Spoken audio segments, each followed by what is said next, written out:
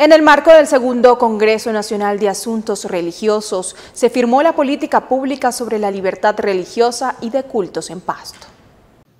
Se firmó el decreto que implementa la política pública integral de libertad religiosa y de cultos en el municipio de Pasto. es, es muy importante porque damos el primer paso para que una política pública pueda llevar esa libertad de culto que tanto este es un momento de diversidad y, y, eso va a dar la oportunidad de que la gente pueda tener esa libertad del culto dentro del mayor respeto y el reconocimiento a todas las congregaciones que están en la ciudad de Pasto.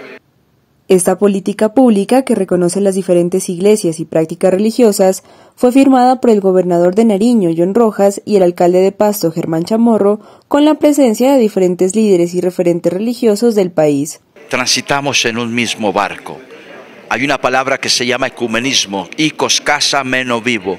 Vivimos en la misma casa y más allá de la diferencia tenemos que trabajar por ella.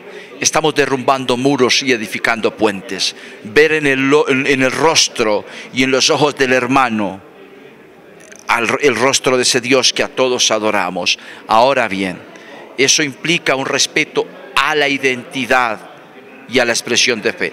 La fe se expone, no se impone. No es bueno buscar que la gente cambie de dirección, sino que es necesario transformar el corazón. Estamos en este mismo barco, Colombia vive un momento difícil de crisis que requiere de nuestra contribución, de nuestro trabajo y de nuestra acción, pero tiene que ser en la unidad, pero una unidad en la pluralidad, ¿no? Una unidad en la pluralidad.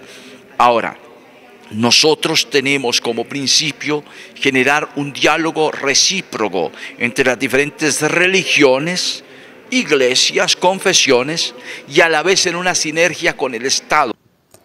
Esta política pública, que arrancó en la administración pasada, pone como referente a Pasto a nivel nacional en la implementación de los acuerdos que garantizan la libertad religiosa y de cultos y busca ser replicada en otras regiones del país.